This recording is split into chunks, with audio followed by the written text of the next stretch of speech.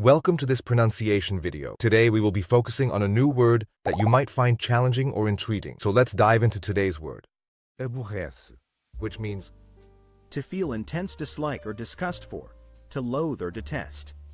let's say it all together.